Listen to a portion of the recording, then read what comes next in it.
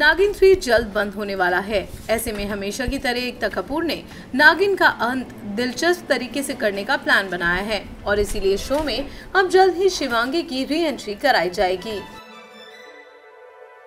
अपनी पिछली रिपोर्ट में हम शो के क्लाइमैक्स से जुड़ी आपको कई डिटेल्स दे चुके हैं, लेकिन अब शो के क्लाइमैक्स से जुड़ी एक बेहद नई जानकारी सामने आई है।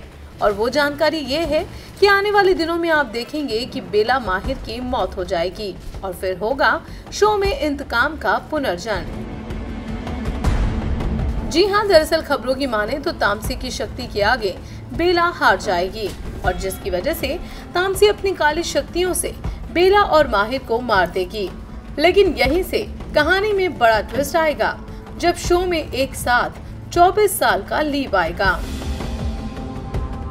कहा जा रहा है कि इस लीप के बाद तामसी बड़ी हो जाएगी और इसके साथ ही बेला माहिर का होगा पुनर्जन्म। यानी 24 साल बाद बेला और माहिर फिर लौट कर आएँगे अपनी मौत का बदला लेने के लिए। लेकिन अब ये देखना रहेगा कि आखिर 24 साल बाद शो में किस तरह शिवांगी और रॉकी की वापसी होगी।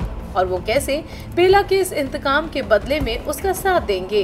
वैसे अगर बात करें शो के लेटेस्ट प्रोमो की तो इसे देखकर इतना तो तय है कि शो के फिनाले में ज़बरदस्त धमाका देखने को मिलेगा।